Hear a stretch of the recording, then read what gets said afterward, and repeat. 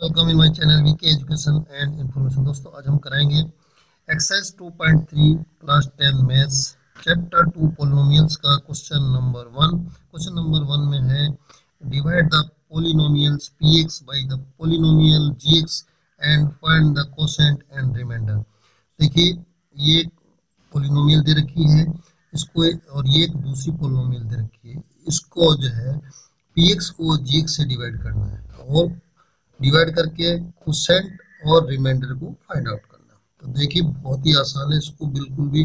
मैं आपको इतने सिंपल वे में समझाऊँगा कि कभी भी आप इसको भूल नहीं पाएँगे, ठीक है? तो चलिए करते हैं सॉल्यूशन देखिए, सबसे पहले पी एक्स लिख लेते हैं। ये लिख लिया हमने ये सॉल्यूशन ले लेते हैं फ़र्स्ट का, ठीक है? पी एक्स लिख लेते हैं। पी एक्स है x cube minus three x square, ठीक है?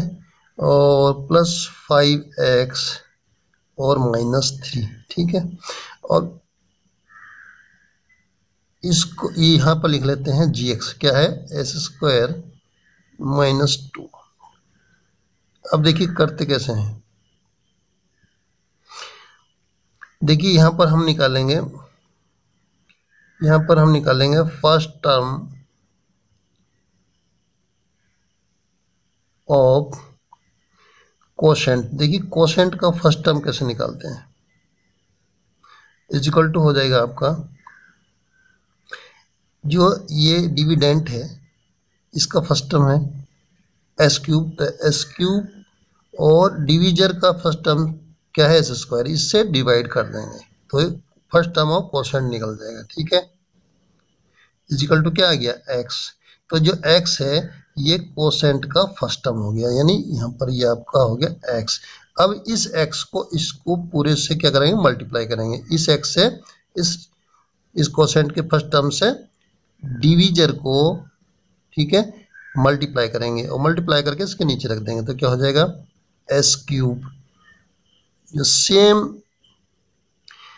डिग्री वाले टर्म हैं, उनको सेम डिग्री वाले टर्म के नीचे रख देंगे, ठीक है? और माइनस टू एक्स तो माइनस टू एक्स आप इधर रखेंगे, ठीक है? अब इसको क्या कर देंगे हम? माइनस कर देंगे, यानी सब कर देंगे, ठीक है? तो जब सब करेंगे तो ये माइनस हो गया, और ये जो माइनस है साइन चेंज हो जाते हैं माइनस प्लस हो जाता है प्लस माइनस हो जाता है, ठीक है? तो ये तो कट गया। अब यहाँ क्या बच गया? माइनस थ्री एस स्क्वायर और यहाँ क्या हो गया? प्लस के सेवन एक्स ठीक है? और माइनस के थ्री अब देखिए, अब निकालेंगे second term second term of quotient ठीक है?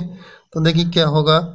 इसका फ़र्स्ट टर्म क्या है? डिविडेंट का, यह भी डिविडेंट ये हुआ ना तो इसका फ़र्स्ट टर्म है माइनस थ्री एस स्क्वायर ठीक है? और सेम डिविजर के फ़र्स्ट टर्म से डिवाइड कर देंगे। एस स्क्वायर तो क्या बच गया आपका? डिवाइड करने से क्या आ गया? ये जो माइनस थ्री है सेकेंड टर्म इससे इसको मल्टीप्लाई करेंगे और इसके नीचे रख देंगे सेम टर्म सेम डिग्री के टर्म जो है सेम डिग्री के टर्म्स के नीचे रखेंगे ठीक है?